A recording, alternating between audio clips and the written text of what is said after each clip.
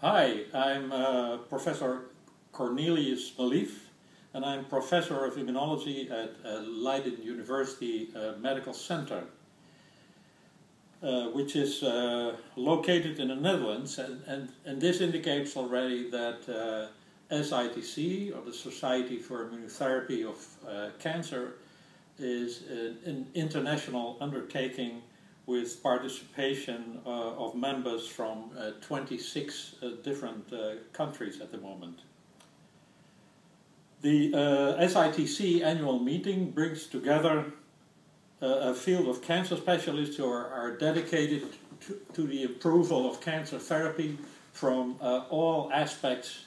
of immunotherapy, including combination treatments. The audience consists of both, therefore, uh, US and international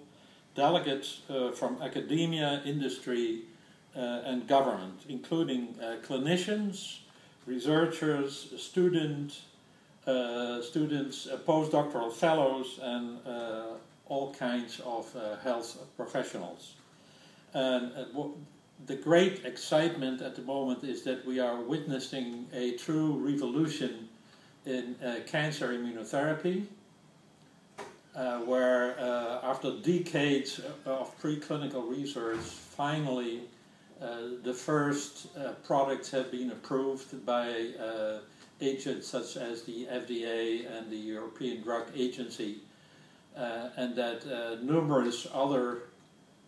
approaches are being translated into exciting clinical possibilities as well as uh, combination treatments with uh, established other types of cancer treatments such as chemotherapy and uh, targeted agents.